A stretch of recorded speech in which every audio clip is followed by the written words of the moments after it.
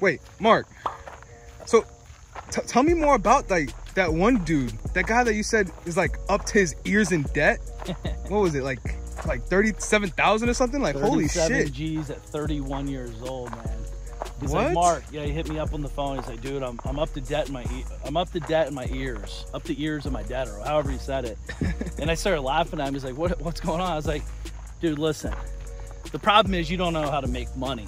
That's the real problem. Secondly, $37,000 is not a lot of money at all. You got to learn how to make money. Not only that, your $37,000 in debt is all bullshit junk stuff that you buy. See, when my, me and my buddies are buying stuff with debt, we're buying assets that produce revenue. I know guys that have four, 500, 800 million dollars in debt. But the thing is, is they're producing millions of dollars a month in revenue. See, it's a difference.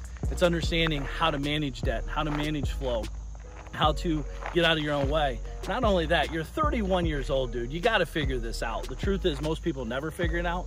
But 37 grand in debt's nothing. The good news is, is you can get this paid off real quick with a couple deals down the street, make some money, build a business or whatever, and start chipping away at that debt.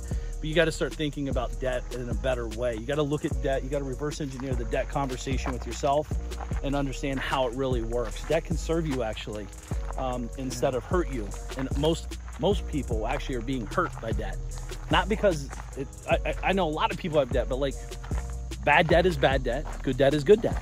You just got to know. Turn your liabilities into assets. How do you use your debt to buy an asset to produce cash flow? That's really what you're really asking. You're not up to debt, and uh, like you're one deal away from being debt free if that's the case. but oh, but the problem is, if you don't learn the trick I'm sharing with you about good debt and bad debt, you're gonna be right back in the same position, probably worse off position because you're older and now you know better. Don't make the bad decisions. You got this.